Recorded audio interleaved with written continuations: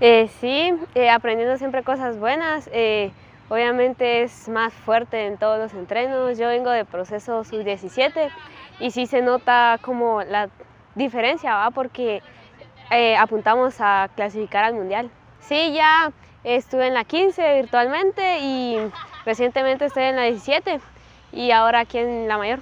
Sí, obviamente todas queremos ir a las eliminatorias, pero sabemos que solo las que estén mejor van a tener la oportunidad.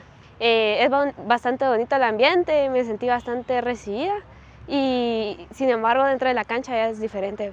Eh, hay bastante nivel, sí, pienso que si le siguen metiendo como, como vienen, tenemos la posibilidad de clasificar. Pues es bastante fuerte, eh, tienen bastante experiencia, pero no me voy a quedar atrás y también voy a meterle. Pienso que me ha ayudado bastante que empecé de temprana edad eh, y mi confianza que voy ganando poco a poco es algo que puedo ayudar a aportar.